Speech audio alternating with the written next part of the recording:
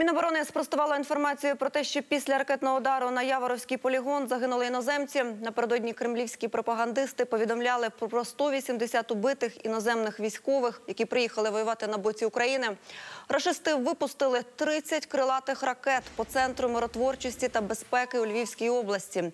Більшість з них вдалося знищити засобами протиповітряної оборони, але 8 завдали удару. У результаті 35 загиблих, 134 людини поранено. Президент Володимир Зеленський зазначив, що на Яворівському полігоні не сталося нічого, що могло б загрожувати Росії. Але те, що ракетний удар відбувся усього за 20 кілометрів від кордону з країною НАТО, це чіткий сигнал.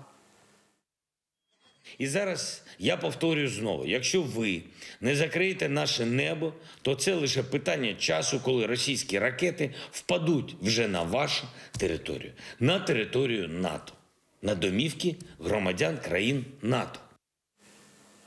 Видання Guardian припустило, що атака на Яворовський полігон є очевидною і через те, що розташований поруч із маршрутом, який із Польщі до України доставляють озброєння Україну. На, на аеродромі Жевуш у Польщі Сполучені Штати уже розмістили дві батареї ЗРК Патріот. Розглядають можливість підсилення литовища і британським озброєнням. Світ засуджує ракетний обстріл росіянами міжнародного центру миротворчості та безпеки в Яворові.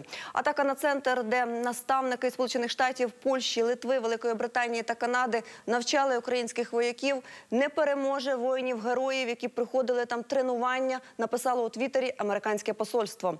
Напад на тренувальний центр вразив і французького міністра закордонних справ.